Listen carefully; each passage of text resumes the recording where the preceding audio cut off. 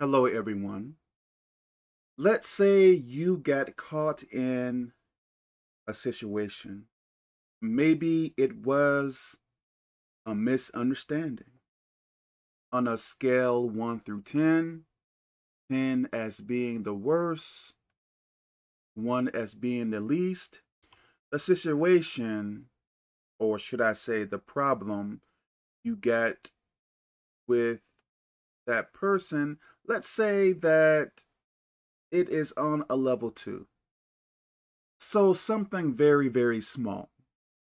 But when you get in that problem with that person, that person is yelling and screaming at you as if the problem is at a level 9 or a level 10. Just yelling, screaming, and as it seems, losing their mind for something at a very low level, a very small problem. You may ask yourself, like, did I really do something that bad?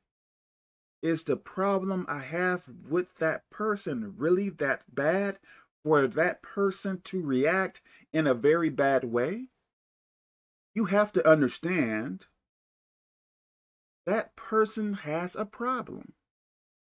From what I believe, that person is not so much reacting based upon what happened between you and that person, but I believe that person is reacting based on something that probably doesn't even concern you, probably something that happened to them in the past. I believe that is where most of that anger is coming from. So you have to really think about it. If most of their anger is coming from something that happened to them in the past, let's say in their childhood, what can you say? What can you do? Like, what point would there be in trying to prove your innocence if the problem you have with that person is not really the overall problem, if you know what I mean by that. If 95% of their problem is because of something that happened in their past that has nothing to do with you, what can you say? What can you do to really make a difference? As in, in trying to persuade that person that the way they are behaving is uncalled for. In cases like these, you are not the problem. Yes, you may have a problem with that person, maybe on a very low level, but as far as them acting in a very bizarre way, I believe a lot of that anger is coming from not so much you, but from their past. Are you understanding what I am saying to you? You are not the problem. Perhaps they have unresolved problems. Pretty much putting their problems on you because you are there. They may have problems with their mother. They may not show their mother any hate or anger, but because you are not their mother, they feel okay with placing their anger upon you. You are not the problem.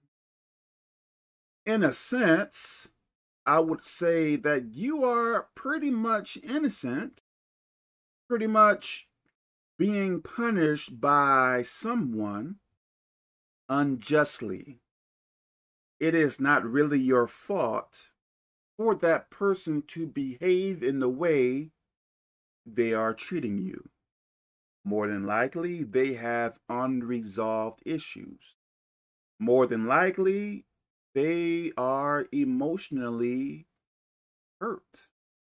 And in a sense, taking their pain out on you, at the same time thinking it is okay. So, in this sense, the problem is with them, not so much you. Yes, a situation may have happened between you and the other person. Yet, there is no need for that person to overreact, to overreact. If a person chooses to overreact, the problem is with them, not so much you. You don't have to take responsibility of a person's poor actions toward you. This very incredible anger that some people may show, I believe much of the time it is uncalled for. At the same time, we should not provoke people to anger. Yes, I know there are some times when it may be okay if it is done playfully, if both parties are okay with it. I hope all of this makes sense. May God bless us.